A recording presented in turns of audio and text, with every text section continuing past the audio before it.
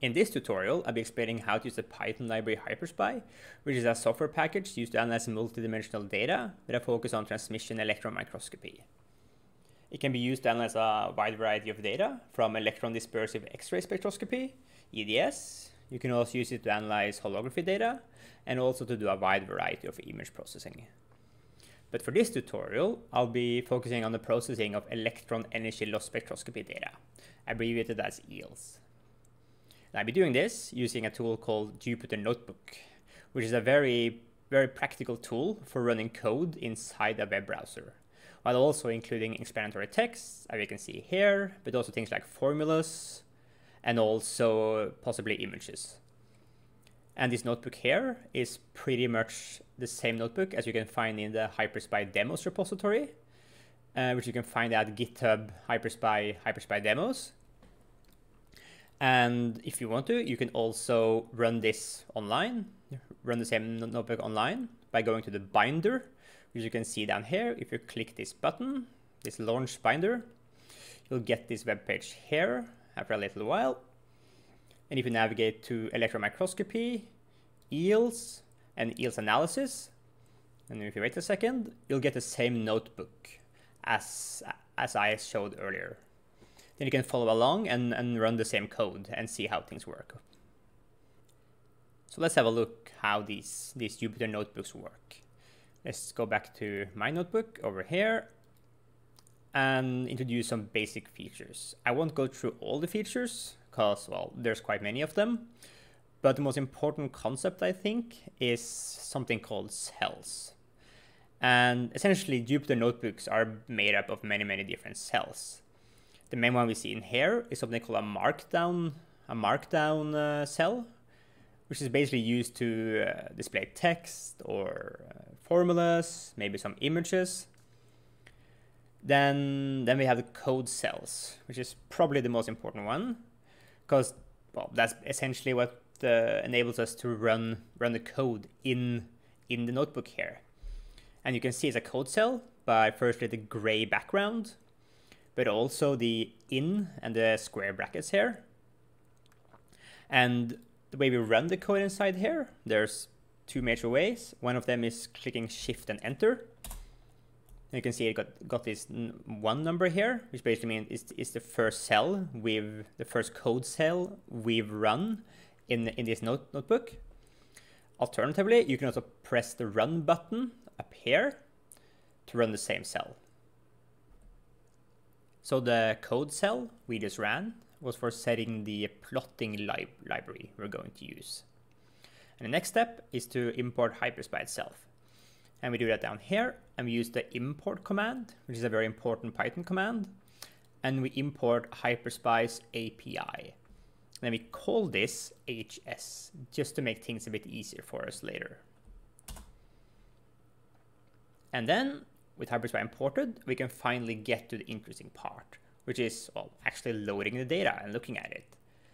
So to do this, we use HyperSpy's load command, which is, yeah, we just type hs.load, and then we give it uh, the file path to the dataset. And we just save this, this to the variable s here.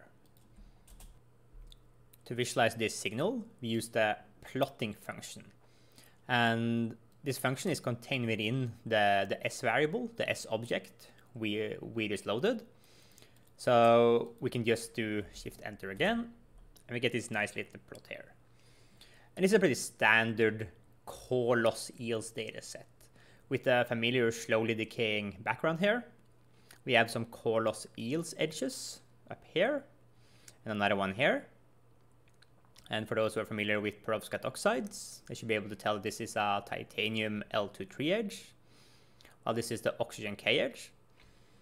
And we can drag the navigation line here in the navigation plot using the mouse or by using uh, control plus the right left arrow keys to navigate across across this this line scan. And if you go down here in the, in the film region, we see a couple of changes. Firstly, the titanium is gone. The oxygen has changed shape a bit. And also we got two additional peaks. one manganese peak, manganese L23, and also a lanthanum peak. So the top part of this, this, this line scan is a strontium titanate substrate, while the bottom part is a lanthanum strontium manganite tin, tin film. And this actually shows us one of the central, I guess, concepts within HyperSpy, which is a separation between navigation and signal access.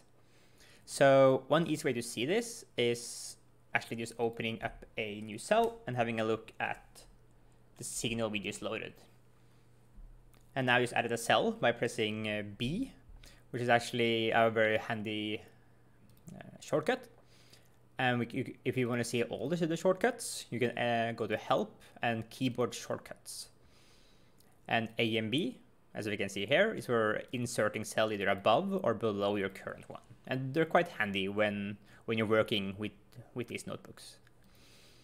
But yeah, so if you now just type S and do Shift Enter, we can see some information about the spectrum, about the data we're, we're working on. Firstly, this is an EEL spectrum. As expected, this is a core loss spectrum. And back here, we can see the dimensions dimensions of the of the of the spectrum of the signal. So firstly, we have this in the front here. This is the navigation dimension because it's to the left, to the left of this this line here. So this tells us we have 10 probe positions in the signal, which looks looks uh, looks reasonable. And also we have 512 energy channels. Basically, yeah, basically points across the energy axis here. A nice feature for comparing datasets, while comparing spectrums in datasets, is by using the uh, spectrum comparison, which you can get by pressing the E button on your keyboard while have, having this, this plotter selected. And this gives you an additional navigator line. So you can see now we have a blue line and a red line. And you can move this independently of, uh, of each other. So let's say we can place the blue one down here in the tin film and the red one on the top here in the substrate. We can, it, this makes it quite easy to compare different parts of a EELS line scan or an EELS map. Uh, we'll see it's a bit more useful when we have like remove the backgrounds and essentially getting the intensity is about the same. But this is a very nice little tool and it's like semi-hidden. I just pressing the E button. Let's first do a relative quantification of the titanium peak. To do that, we first want to remove this, this background here, this power law back, background. And to do this, we use the remove background function, which is in the signal, similar as the plot function. And then we just do shift enter to run this again. Then we get a bunch of stuff, some UI things here where we can set some settings and the familiar signal plot and navigator plot. And to actually, and the, the main thing we need to specify here is, is where do we want the background to be fitted do that by simply dragging with the mouse, clicking the left, left mouse button, is dragging. Then we get this blue line here, which is the which is basically the background, the estimation of the background, and also the residual. Basically, how will the signal look like after we remove the background. And then, after we're happy with this, this region here, we go back up here and we press, and I untick the fast button, the fast tick here, essentially to do a full least square fitting of the power law instead of doing a quick estimation of the background. Then we hit apply, then we should do some processing, and then we get the results. And this looks looks pretty pretty okay, I guess, with the with the region in front of the titanium here being nice and flat, and which makes it a lot easier to basically quantify the intensity of of the titanium. With the background removed, we use HyperSpy's region of interest functionality to select just the region which contains the titanium peak. And to this, we use the span ROI uh, class, which is found in hs.roi, region of interest. And then we specify the initial position of this span. And then we get an object called ROI. And we plot, plot the signal as we've done earlier and lastly, we add the signal to the ROI, or rather, we, we add the ROI to the signal. This gives us, again, a very a span similar to one we had in remove backgrounds. Then we can simply do this, select this region here. And finally, we use Hyperspy's uh, uh, slicing or cropping functionality, which is called iSig, which is basically slicing or cropping across the signal dimension, which here means across the energy loss axis. And then after we, we've done this, we we basically integrate up the, the intensity within this cropped region. If we hit Shift Enter to run this, then we can plot it. And as we expected from, from exploring the data earlier, we can see that in the beginning of the line scan, in, in the substrate, we have, we have a lot of titanium. Then we get to some interface, and then it drops sharply down to around, around zero in the end here, to the film to the right. It's also possible to do all of this, this, this processing we just did totally non-interactively. If you know where the background region is, and if you know where the titanium region is. And let's have a look at that now. And the first thing we do is reloading the signal, basically assigning it to the same variable called s. This basically overwrites the old signal s with, with the one we just loaded here now. Then we have this very this very long one-liner here. And the thing we need to know, for instance, is we need to know the signal range. And I know this from before because I've well, I made this this notebook. But if, for instance, you want to know how the signal range parameter works, you can use something called docstrings. And one way of accessing them is if you select the function, let's say you select remove background, and you hit shift and tab. On the first click, you get this information here, very, very basic, what, uh, for instance, which, which parameters we have in the function. If you press again, you get some more information where you can scroll up and down. If you click two more times, you get the full docstring explaining how the whole function works. So for instance, here is, here, here is the signal range uh, parameter, and here down here is an explanation showing that the default is the interactive, which basically means just uh, just dragging a span as we just did. Alternatively, we can also just input a list or a tuple of ins or floats to set the, uh, the, the, signal range, basically the, read, the, the background fitting range, just, just using the command line. And these, these docstrings are very, very useful because pretty much every function and every class, every, every, every object you look at in Python will have this type of, of docstring. So if you ever wonder what that function does, or what kind of parameters it has, or what you can what you can can do with a function, this is a very nice tool. And also in quite many many docstrings, if you go a bit further down, you also get examples on how to on how to actually how to use the function. This is very very nice. This is a it's a very nice and excellent tool to use. It's also possible to access these these note these uh, these docstrings by, for instance, typing s.remove background and putting a question mark after the function and then executing it. And this gives us the, gives us the same large docstring information as we just saw. So if we now run this this one-liner here and plot it, you can see that, that the results are pretty similar. This, uh, the results down here are pretty similar to ones we saw up here. There's a minor differences, which is probably due to slightly different different uh, ranges, integration ranges and uh, fitting ranges. So this is all well and good, doing it this, this way, by basically removing background and integrating up. But there is a superior way of doing this kind of data processing, uh, which is called a model-based approach and is based on curve fitting. We start with loading a low-loss dataset which was acquired at the same time as the core data. And we also reload the, uh, the core data set. The first thing I want to do here is, is looking at the metadata because for this type of quantification, we need some important experimental parameters. We can see them down here. We have the collection angle for the EELS data. We have the beam energy, and we also have the convergence angle for quite many of the data sets for data types, which can be loaded in Hyperspy, this will be automatically loaded. the, the metadata here. However, if if if it's not loaded for uh, for your own data, you can also set it using the function called s.setMicroscope parameters. If I look at the doc string here, you can see yeah, same things. We have the beam energy, convergence angle, and collection angle, which you can set using this little UI.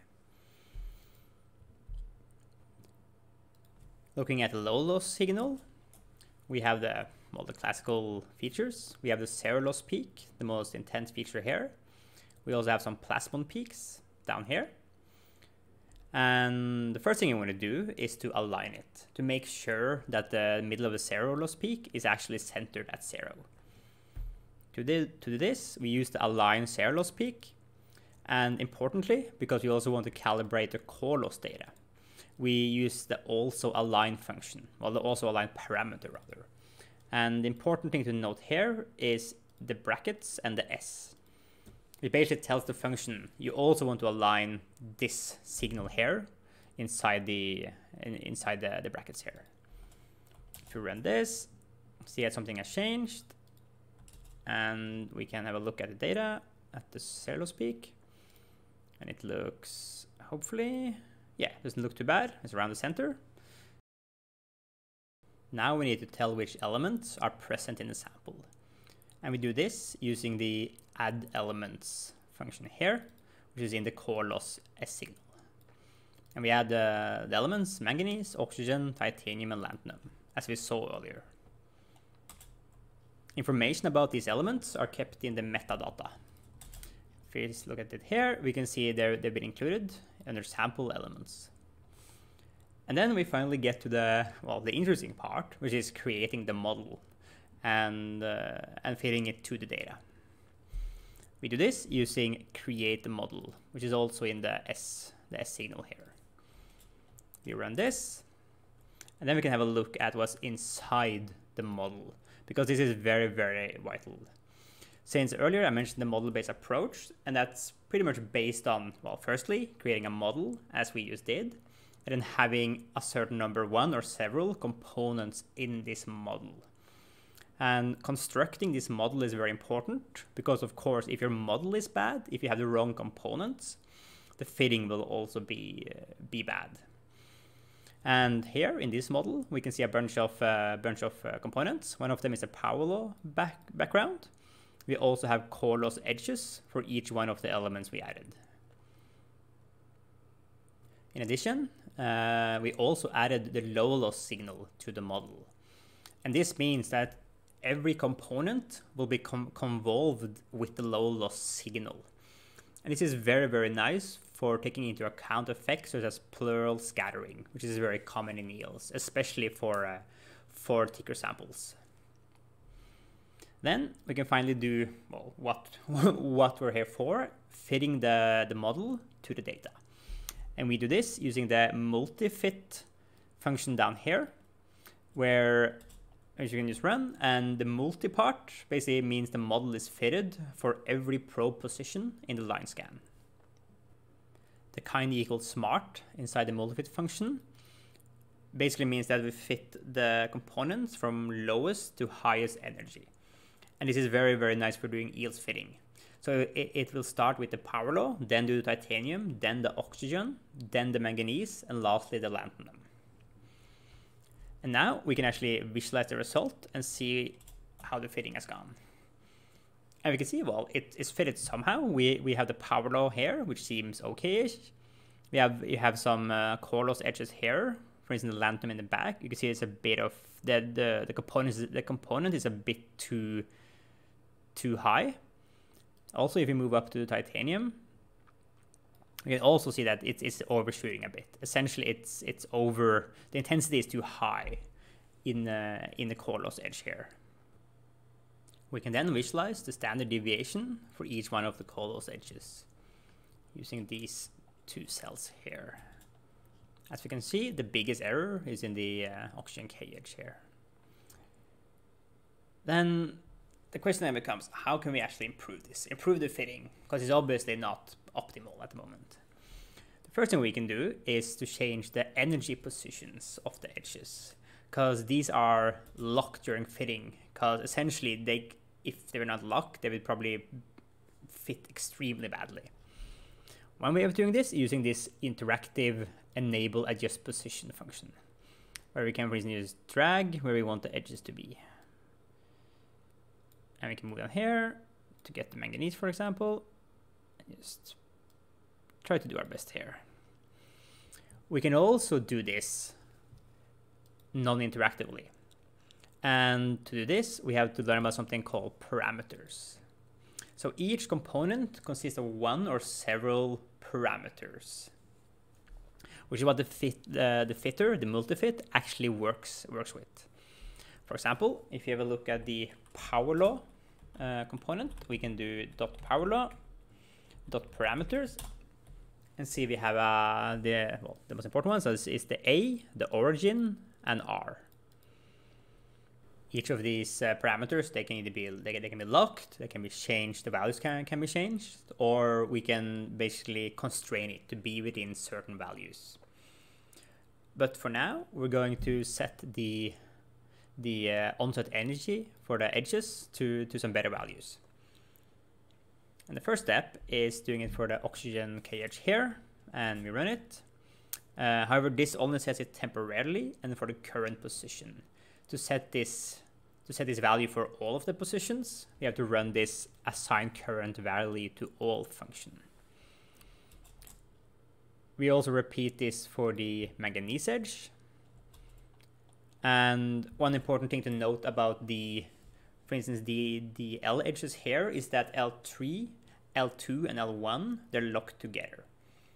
So changing the L3 will also change L2 and L1.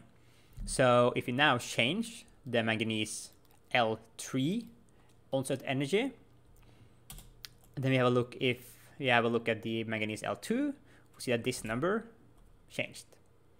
So you only have to change one of them. Their intensity is also coupled.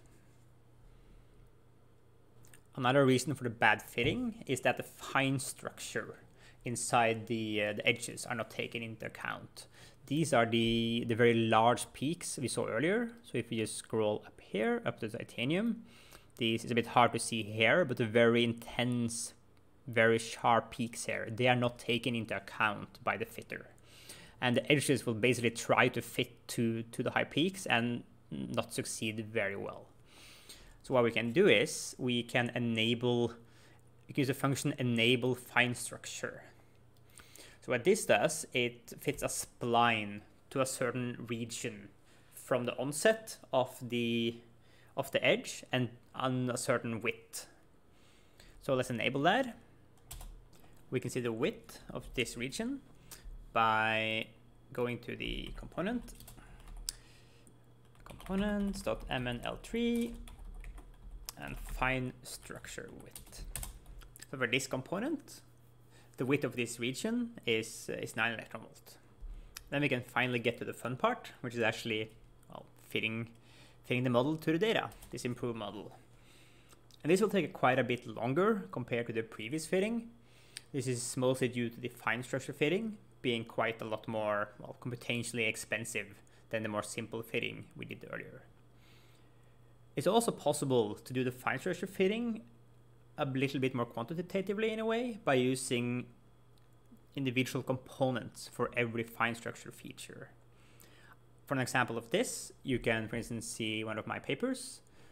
In this paper, I implemented a method where, where firstly, I set the, the onsets of the edges here a bit more quantitatively then fitted them to, to, the, to the background here, and then fitting each of the peaks in the titanium edge with, uh, with individual Gaussians. If you want some more information about, about this, this method, you can see the paper on, on arXiv, or, and it's also published in, in ultramicroscopy. Now we can have a look at the, uh, the new improved model. We can visualize it and we can clearly see that the fitting is a lot better compared to earlier. Firstly, it's no longer like the, the background here is no longer way above the, the, the, data. We've also got some nice nice fitting to the uh, to the peaks here. And this is also very nice for the titanium. And even the, the background looks actually pretty well, looks pretty good. So now we can also compare the relative intensities of the edges. We run these two cells and plot. We can see that as expected, oxygen is, is everywhere in this sample. Uh, we have titanium, which is in the first part, and we have lanthanum and manganese towards the end of the, of the line scan. However, there are also some strange things going on here. Firstly, the oxygen is just disappearing up here, which is probably due to a, a slight bug with the uh, setting the Y limits. We can get back in by using the zoom to rectangle uh, functionality down here, right clicking and dragging a box to zoom out. And here we go. We can see the full oxygen profile. However, there are also some other issues here. The main one being that for manganese and lanthanum in the, in, in the substrate down here, the intensity is actually negative.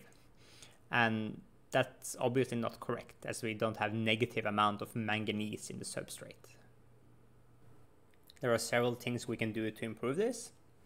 Firstly, we can reduce the manganese L1 fine structure width because uh, it actually extends quite far, almost into the lanthanum edge. Reduce this about half. Secondly, we can set some bounds when we do the fitting. And what I just did is setting the minimum value, the intensity of each of the manganese edges, lanthanum edges and titanium and oxygen edges, the minimum value there to zero. So essentially the fitter can't fit it past zero. In addition, we have to use this bounded equals true parameter when, when doing the multi-fitting. And this essentially forces the, the parameter intensity to always stay above, above zero. And then they should finish running and then we can plot it and see that, well, to be honest, there's not too much of a difference here. But if you have a look in the, basically plotting the line profiles, we see that things have actually changed quite a bit. Uh, with the oxygen looking a bit different. And also but also the uh, importantly the manganese and lanthanum and titanium they're no longer below zero. It is also possible to analyze a material using the shape of the fine structure to get information about the material. Let's load this dataset here, which is a slightly different one than the one we looked at earlier. And in this material, we bombarded the, the middle part of a, of a film here using the electron beam for an extended period of time. Essentially inducing a change in the material, changing both the structure and the composition of the film. And this is also an LSMO film, as we looked at earlier. And we can navigate across the line scan to see how it is changed. You can see there's a change there. If you just look, look in the navigation plot, there's a clear change in the middle. If you follow, for instance, this this little line, this little pre, pre-peak in the oxygen K edge, you can see it take a little turn to the right in the middle here. And we can also just look at the spectra themselves. Go to the middle, we see that the, the secondary peak here becomes quite a lot smaller. If you just navigate using the keyboard now, you can basically see that, yeah, it gets, around the top part is, is big, and if we go to the middle, it shrinks by quite a bit, and the pre-peak also changes. There's also some changes in the manganese edge down here. It's a bit hard to see just looking at the spectra, but it's a lot easier to see if you look at, at navigation plot. Uh, and while the changes are are a lot less compared to the uh, compared to the oxygen K edge, there's like a small shift in the main peak here to the left. There's also a change in thickness across the line scan, and we can we can pretty much see it just looking at navigation plot down here to the lower left. Because we can see the intensity has increased quite a bit, the num number of electrons here. We can just also just move the navigator down and see that the, um, the counts to the, to the top left here increase. We can also see this if we load the, uh, the low loss signal, which was also acquired simultaneously as the core loss data. And if you plot that, we again get the pretty standard uh, peak, and we also get get the plasmon peaks here. And if you move the navigator towards the end of the scan, we also see that it increases. Essentially, the, uh, the plasmon peaks become stronger. So the first thing you want to do here is to aligning aligning the, the energy axis. Because if we zoom in on the uh, just on, on, the bottom of the zero loss peak here, we can see that it's actually offset by quite a bit, by like almost three electron volt, which is pretty big. So again, we use the same function as earlier, the align zero loss peak, and we we simultaneously also align the uh, the core loss the core loss data. And now we can, yeah, we see it got like, it uh, found 3.5 shift. And then we can plot it again and zoom in on the zero loss peak. And now it indeed looks a lot better. It's pretty much centered. You can also use a low loss sig signal to calculate the thickness of a sample. And to do this, we use something called the uh, log ratio method, where we essentially take the, uh, the ratio between the intensity in the zero loss peak versus the uh, intensity of the total spectrum, essentially summing up all the electron counts. And then, then taking the, the logarithm of this ratio. This is implemented in a function called estimate thickness, where the only thing we have to guess supply to the function is the threshold of the zero peak. And this threshold is essentially the point where the zero peak stops. And let's say here, an easy way of doing this is simply zooming in, as I just did, on the on the base of a zero peak, and it's finding approximately where it flattens out. And let's say three is a good num number here, which we input in as a threshold, and then we run it. And plotting it, we get this plot where there's a quite obvious change from the beginning, where we have about 0.4 up to, to the end, where it's about 0.7. And the numbers here, they're in uh, T over lambda, and where lambda here is the inelastic mean free path in this specific material. This this lambda, this uh, inelastic mean mean free path, it, it it's quite different from material material to material. And for this perovskite oxide, it's somewhere around 100 nanometers, which means that the sample thickness varies from around, let's say, 40 nanometers up to around 70 nanometers, as we can see here. Now, let's have a closer look at the oxygen K edge in this line scan. And we start by uh, firstly removing the background to make things a bit, make it a bit easier to compare. And it's the same as earlier. We just use the left mouse button to drag the uh, where we want the background region to be. And then we untick fast to get a full least square fitting and we hit apply. And we get the results down here. And now you can see it's a bit easier to compare the different regions here. The middle part versus the top part. And now actually the, the trick with comparing the spectrum using the E button, the E keyboard button is quite nice because now we can, for instance, place the, the, the blue marker in the middle and we can use the red one to, to navigate up and down. And then if we zoom in, we can see there's, we can actually be able to like see more of the, of the small changes. And what's quite obvious here, of course, is the, is the last peak that has changed quite a lot. That changes quite a lot in the middle of, of the line scan here, becoming much smaller the uh, the small peak in the front, often called the pre-peak, it almost disappears completely uh, in the middle. We can also have a look at the manganese edge because there's also some changes there. So zooming in on it and comparing the blue, the blue plot here, which is from the middle, and the red one, which is from, from the end, there's a clear shift in the blue plot here. It's slightly shifted to the left. And uh, another effect we can see in this here, in this these spectra, is the effect of the thickness. So if you move the blue marker all the way to the top part of, of, the, of the spectrum here, of, of the line scan, we can see that the uh, comparing it to the one to the bottom, towards the end, we can see there's a little bit more intensity in the red one, which implies that the sample is a little bit thicker towards the end. One, one way of, of reducing the effects of this, essentially the effect of the thickness here, is to do something called for Fourier ratio deconvolution. This is also implemented in HyperSpy, and we can use the, the function called uh, Fourier ratio deconvolution.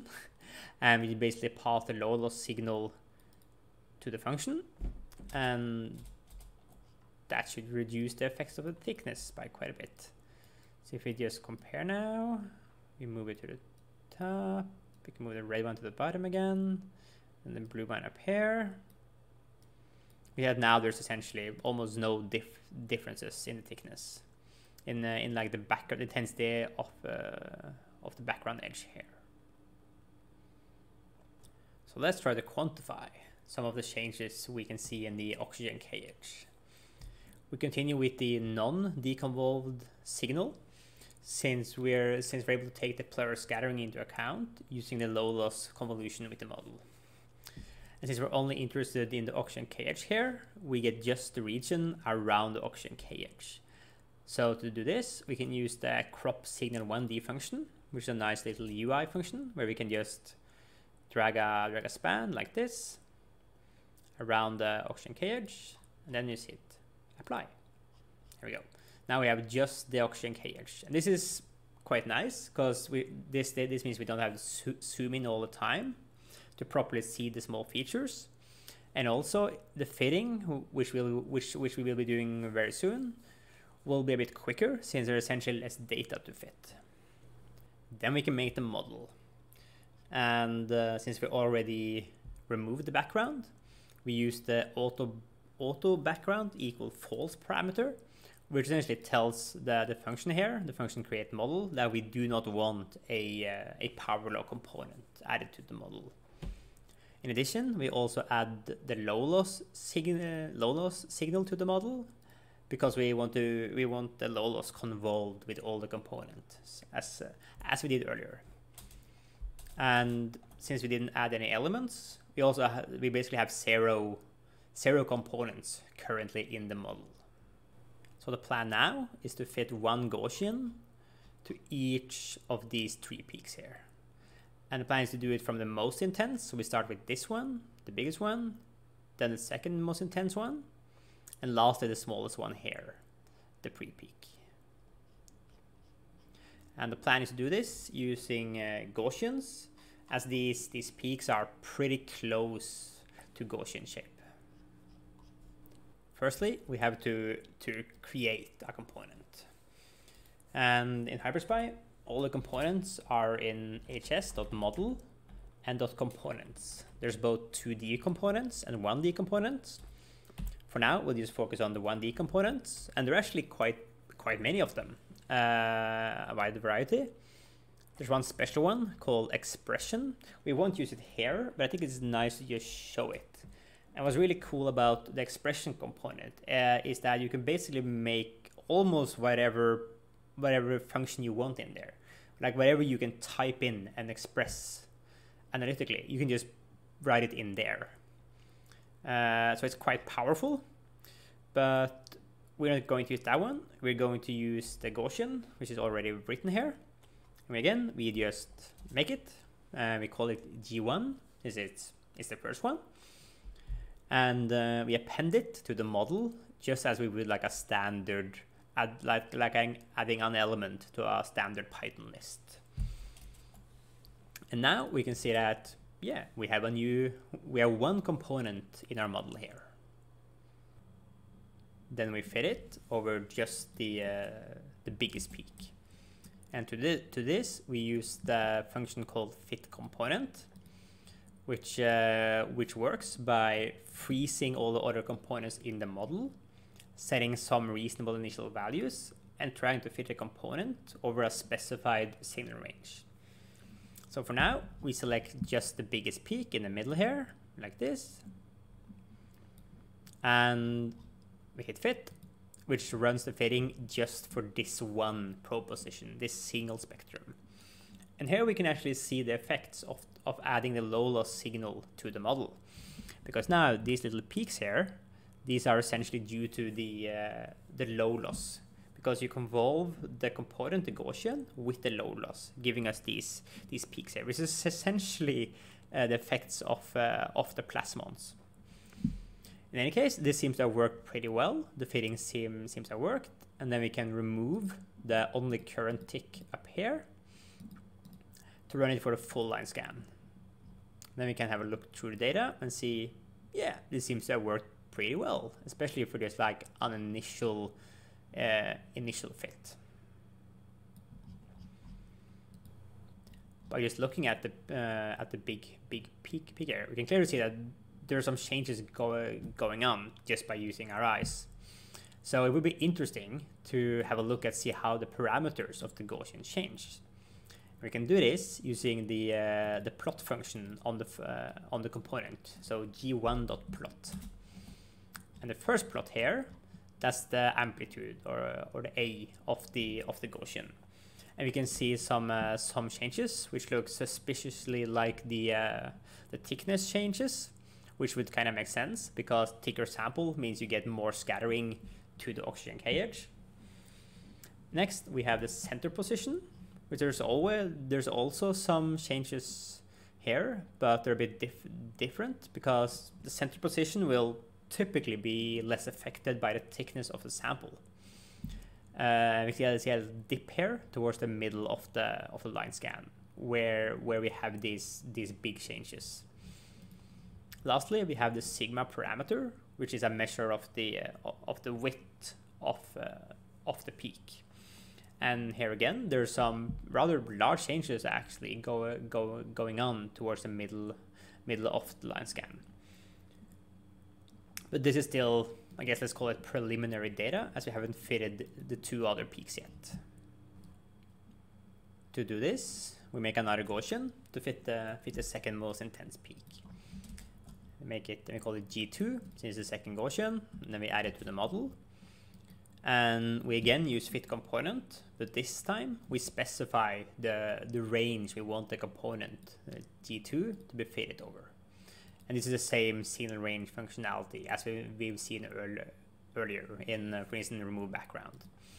In addition, we fit all of the or all of the spectrum in the line scan at the same time by setting only current equal false. And then we can uh, plot the model to see how the fit looks like. And, well, I guess it looks okay, but not perfect. The biggest issue being the, the part between the, the two big, big peaks here. So, but this is pretty much as expected, because currently we've only fitted the two, two Gaussians separately, individually, just one, just one at a time. However, if we fit both of them at the same time, it should become much, much better. So let's do that now. Before doing, doing this, we have to constrain the fitting region a bit. Because in HyperSpy, with the model here, uh, essentially the blue, if you can see the blue line, that's, that's where the fitting will be done.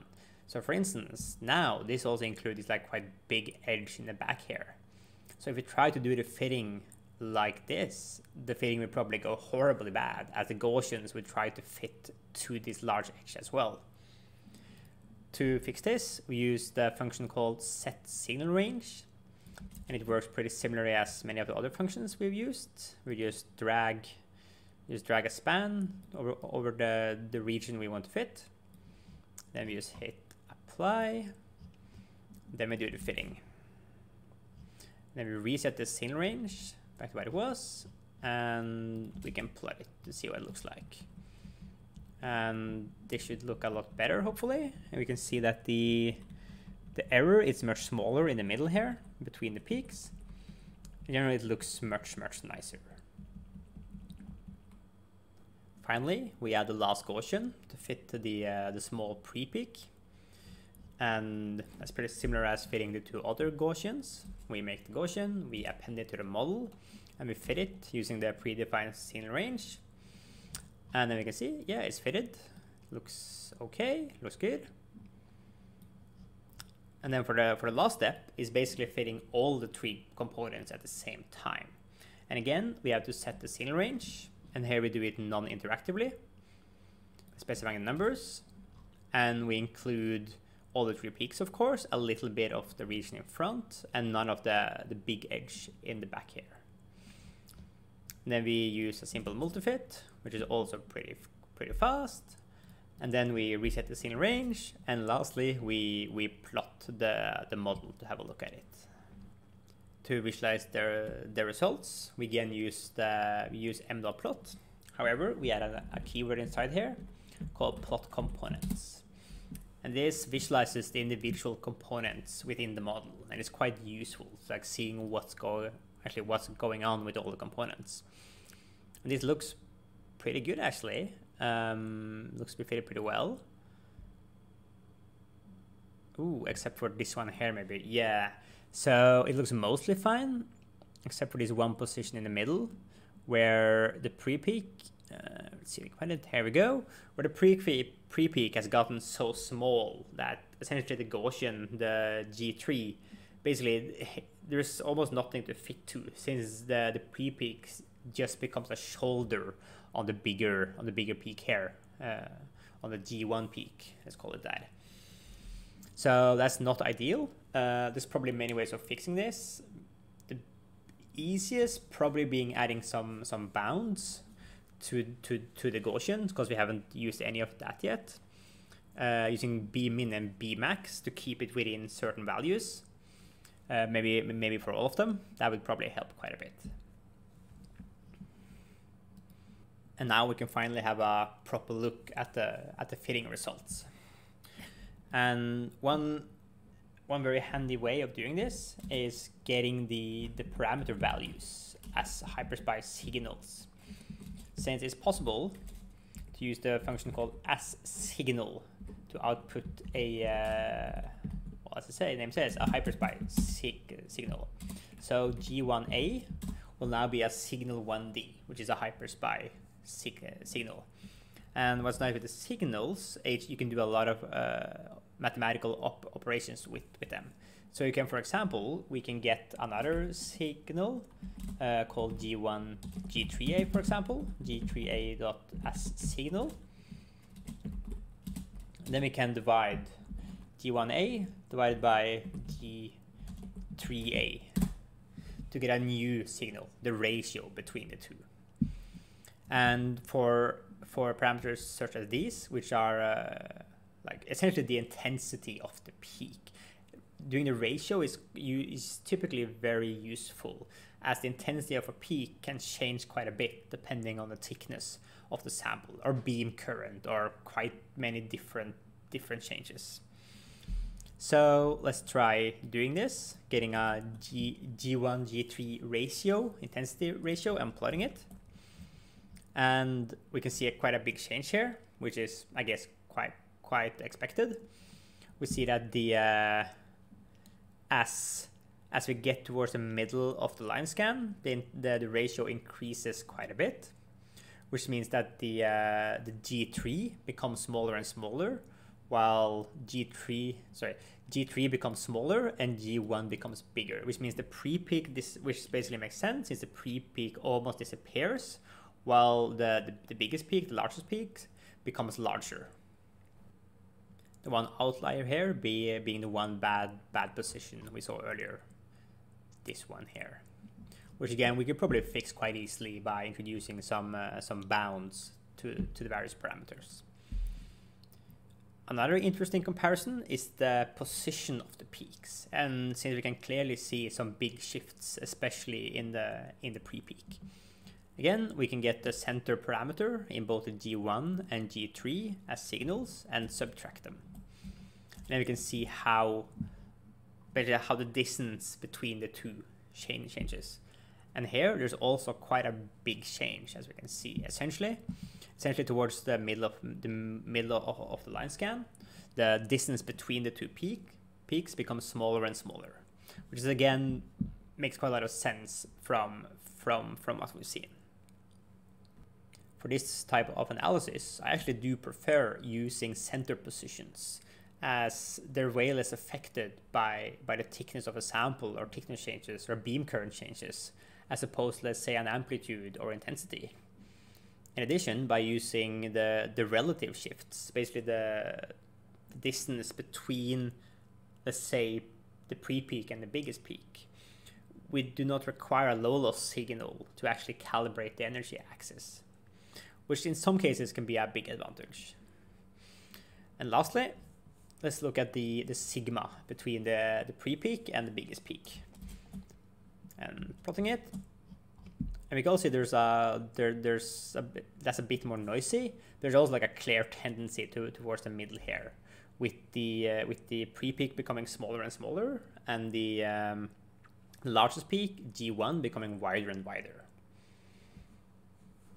So this is the end of the the notebook.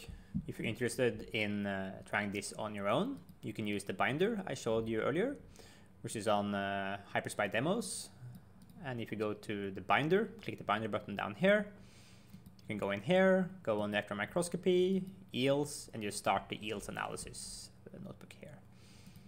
In addition, you have many others. You have one for doing EDS analysis. You also have one for doing holography analysis. You also have some for uh, the more basics of Hyperspy, uh, blind source uh, separation, uh, you also have one for making uh, for making nice figures, making publication-ready figures in uh, using Matplotlib and Hyperspy. If you want to install Hyperspy locally on your own computer, you can head over to Hyper, Hyperspy's webpage and go to the download link, which gives you various install instructions for how to get it running. The easiest is probably to install it using the Anaconda Python distribution, which works for pretty much every operating system. If you have any questions on how to use Hyperspy, you can go to the Gitter chat, which is gitter.im slash hyperspy slash hyperspy. You can ask questions about like how to use a certain function. If you find any bugs, you can mention it there, or basically any type of issues or bugs or things you want to solve, data processing. In addition to Hyperspy itself, there are also some Python packages which extends Hyperspy to more data types. One of them is Atomap, uh, which is a library for analyzing atomic resolution TEM data. And it works by fitting two-dimensional Gaussians to, to basically every atomic column in images like these here, which, makes, which enables the extraction of information such as ferroelectric polarization or oxygen tilting patterns, as you can see here. Another package is uh, pyXem, which is for analyzing electron precession data. And lastly, there's a library called uh, PixStem for analyzing uh, 4D STEM or pixelated STEM datasets.